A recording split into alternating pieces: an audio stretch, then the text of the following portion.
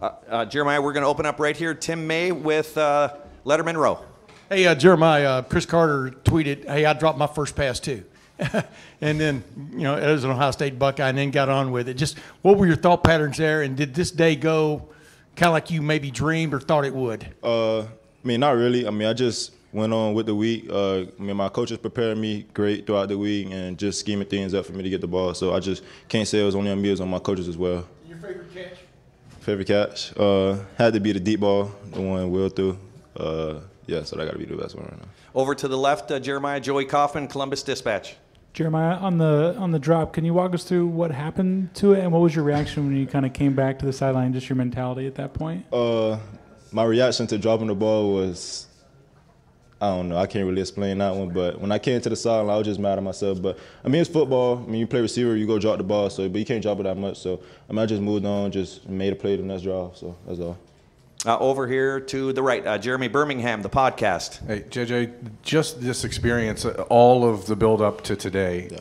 What was it like for you running out the tunnel the first time with a hundred thousand people, scoring that first touchdown? What I mean, was it what you thought? Oh yeah, for sure. I mean, I've been I'm a, I was a recruit, so I can't see been no visit, but actually being out here on the field and playing and getting the full experience of walking out that tunnel was something I would never forget. And I mean, just scoring that first touchdown felt so great, and I just can't thank myself. I just got to thank God and the man above. So that's all.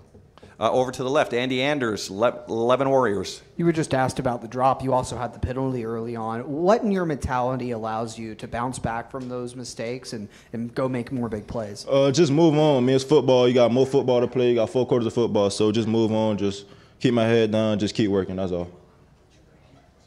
Uh, over here to the right, uh, Andy Backstrom, Lettermen Row.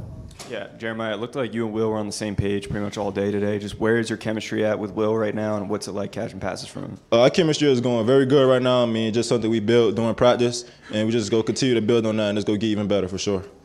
Over here to the left, uh, Cameron Teague Robinson, the athletic. Jeremiah, during camp, we asked you if you knew about the hype surrounding you. You said, you said, yeah. yeah. This is like NFL receivers come in and out of this program so so much. For you to do what you did today, your first college debut, mm-hmm. just what was that like? And did was did you feel any extra pressure knowing kind of the outside hype around you? Um, pressure? No, I don't really feel pressure. Um, I mean, I just want to go out there and play football and win and play play football and win games. So, I mean, I know all the hype around me was crazy coming in, and I just wanted to come in and be a guy just work and just not be about all hype. So I mean, just want to impress my coaches, impress my peers around me and my teammates. So that's all.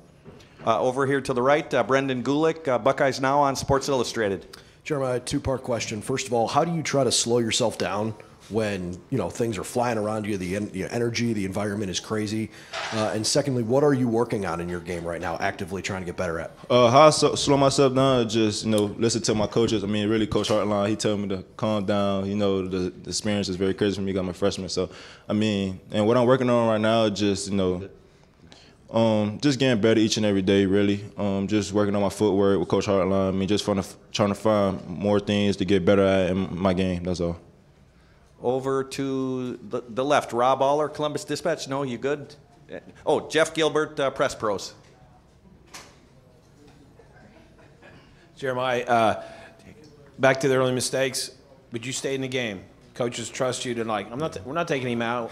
We, we trust him. He's going to play through. What's it mean to you, to, for the coaches at this stage of your career, to have that trust that you're going back out there and they're not even yelling at you or anything? Yeah. Uh, I mean, I just I just can't say I just feel like it's. I mean, I think I built that during practice. I mean, I feel like they trust me a lot to, you know, knowing I made a mistake, that they know I'm gonna bounce back from it. So, I mean, it's just the trust in them that they have in me to go out there and continue playing football and make plays. A couple more plays for Jeremiah. Jake Trotter, ESPN. Yeah, Jeremiah, you got to go back to 96, 1996, uh, the last time a freshman uh, here caught two touchdown passes in a debut. How can you build off this performance going forward? Uh, I could build on it by just, you know, I know not dropping the ball. I mean, I feel like I had a better game. I just made mistakes and just continue to work and just get better each and every day.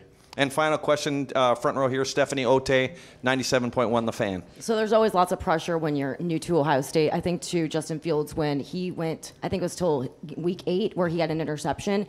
And he told me it was a relief that it finally came just to get it out of the way. Was getting that drop so early on almost a relief? Oh, yeah, for sure. I mean, I would just worry about catching the ball and just getting upfield. But I mean, I, I'm glad it happened, and you know, I just got that, you know, got that relief, and I'm like, I'm here, I'm here now, so I'm good. That's all.